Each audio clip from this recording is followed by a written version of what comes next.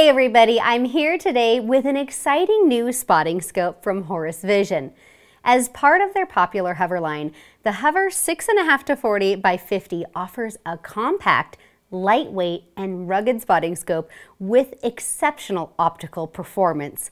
As with all of their products, this spotter's main focus is the built-in patented Horus reticle. It's currently available with the Tremor 4 reticle, however, it is designed to work with their popular Tremor 3 and Tremor 5 reticles, and it will also work with any mil-based reticle on the market. It features the Horus grid for intermediate second shot corrections, time of flight wind dots for fast wind calls, and tremor milling chevrons for refined target ranging. With exceptional resolution and clarity, the 6.5 to 40 magnification range, compact form factor, and the Horus reticle, the HoVR 6.5 to 40 by 50, is a great spotting scope for hunting, competitions, or just a day at the range.